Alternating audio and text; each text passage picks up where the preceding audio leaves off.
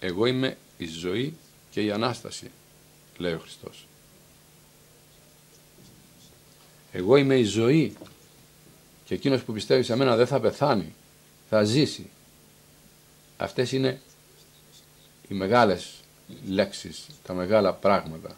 Όποιος πιστεύει σε μένα δεν θα πεθάνει στον αιώνα, λέει ο Χριστός.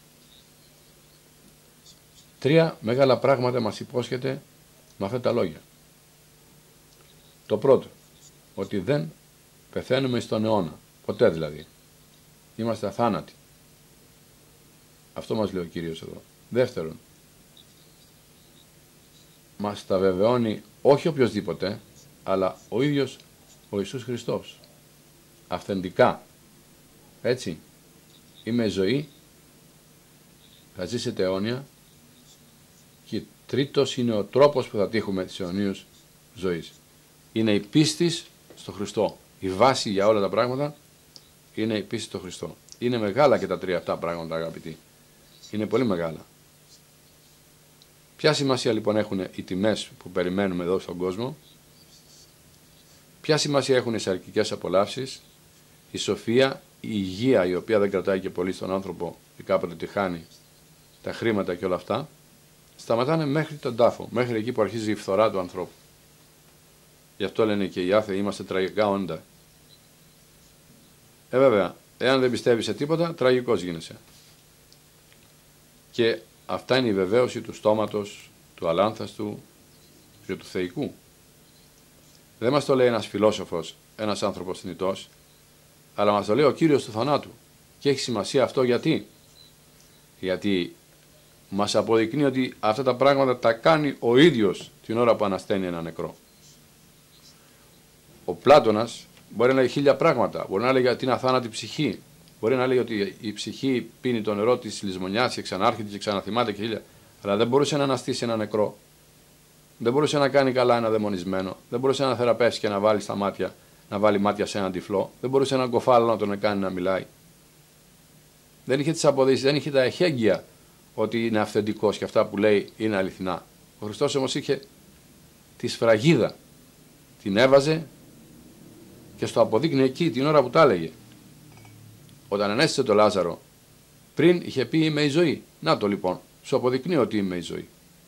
Ένα σώμα που έχει πεθάνει εδώ και τέσσερις μέρες, έρχομαι εγώ και το κάνω καινούριο. Του ξανανασταίνω, το στείνω στα πόδια του.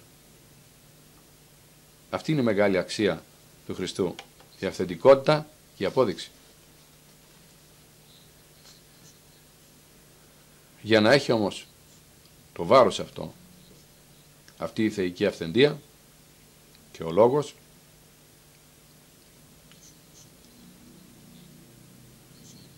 αλλά όσο σοβαρά είναι τα δύο αυτά, τόσο πιο ελαφρύ και εύκολο είναι το τρίτο που γίνεται για τις πίστεως. Ο Κύριος δεν μας ζητάει μεγάλα έργα για να σωθούμε, δεν ζητάει να αναστήσουμε και εμείς νεκρούς όπως έκανε Αυτός. Λίγα πράγματα μας ζητάει. Συμπάθεια προς τους συνανθρώπους μας, αγάπη και αναγνώριση της δικής του οντότητος. Να πιστέψουμε ότι ο Χριστός είναι ο Θεάνθρωπος και ότι μας είναι ο σωτήρας όλων των ανθρώπων. Να λοιπόν τα δύο δύσκολα, τα οποία τα κάνει ο Θεός και την ευκολία του τρίτου που την κάνει ο άνθρωπος. Τα τρία αυτά μεγάλα πράγματα βλέπουμε ότι τα έχει η Μάρθα. Η Μάρθα δεν, ξεπα... δεν ξεσπάει σε λιγμούς, έτσι, όταν δούμε, όπως εμείς όταν δούμε ένα πεθαμένο συγγενής μας, ενδέχεται να κλάψουμε και να τον θρυνήσουμε, αλλά πέφτει στα πόδια του Χριστού. Κάτι τέτοιο μπορεί να συμβεί και σε εμάς. Εμείς κλαίμε, αλλά δεν πρέπει το πένθος να είναι βαρύ,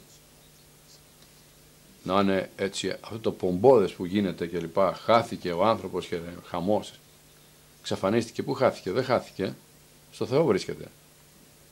Νεκροί και ζωντανοί, στα χέρια του Θεού είμαστε. Μην το που κάνουμε τραγικό το πράγμα τόσο όσο δεν είναι. Δεν μπορούμε να φέρουμε ένα ζωντανό, ένα νεκρό να τον ζωντανέψουμε με τις φωνές μας, αλλά και οι φωνές και τα κλάματα στεναχωρούν τις ψυχές των διακοιμημένων. Άπειρες φορές έχουμε ακούσει και μας έχουν πει ότι εμφανίζεται στον ύπνο του νεκρού και λέει σταμάτα να κλαις. Με βαρύνεις, με κουράζεις, μην κλαις άλλο. Χιλιάδες τέτοιες αποδείξεις. Και να δούμε τώρα από τα μικρά πώς πάμε στα πιο μεγάλα.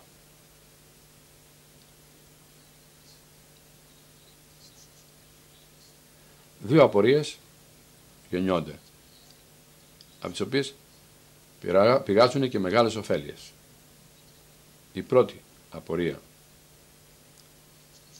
Ο Χριστός ως Θεός δεν εγνώριζε που είχε ταφεί ο Λάζαρος. Δεύτερη απορία. Ο Χριστός ανέστησε το Λάζαρο.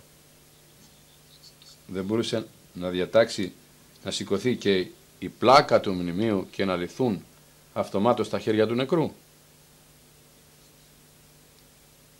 Ασφαλώς μπορούσε. Αλλά εκείνος τους διέταξε να σηκώσουν την πλάκα του τάφου, διότι αυτό όπως είπαμε και πριν ήταν εύκολο να το κάνουν οι άνθρωποι.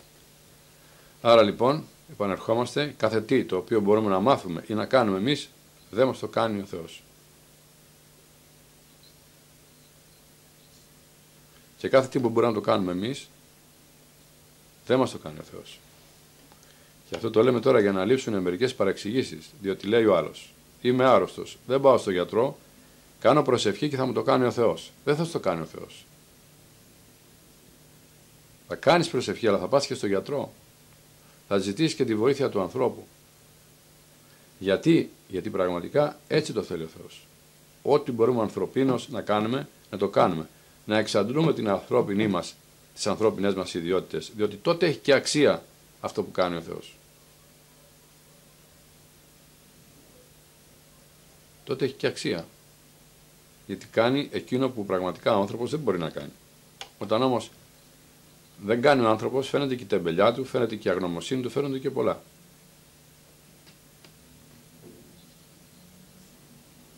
Το κάνει λοιπόν αυτό ο Θεός, το μεγάλο, διότι αγαπάει και τιμάει το πλάσμα του, αλλά δεν τον θέλει άβουλο και μοιραίο.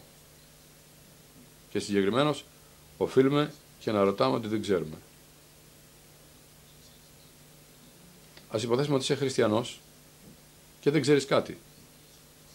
Προτιμάς να πεις ανοησίε οι, σου, οι δικές σου ιδέες που σου έρχονται στο μυαλό παρά να ρωτήσεις πώς είναι αυτό το πράγμα.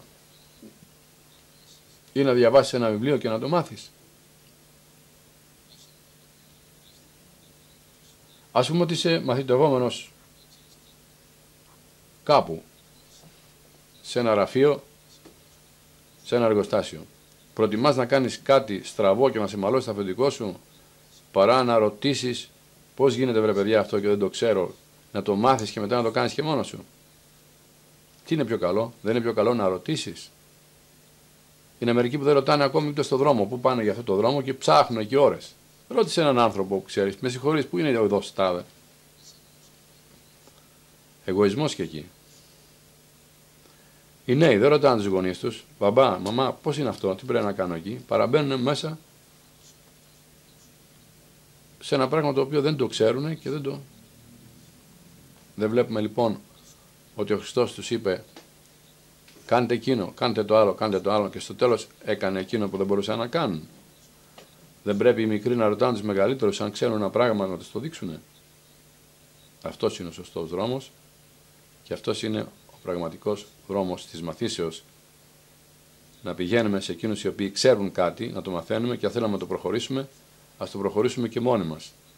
Και ας ζητήσουμε και τη βοήθεια του Θεού. Αλλά όχι να αποκόψουμε την ανθρώπινη βοήθεια και να πηγαίνουμε κατευθείαν στη βοήθεια του Θεού. Έτσι.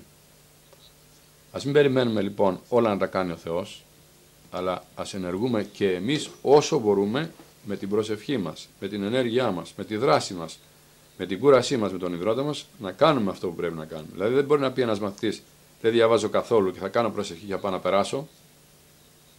Θα διαβάσεις, θα κάνεις και προσευχή και τότε θα περάσεις. Θα έχεις διαβάσει όμως για να πιάσεις και η προσευχή σου Πρέπει να έχεις δείξει και εσύ φιλότιμο προς το Θεό, να μην τα ζητάς όλα έτοιμα.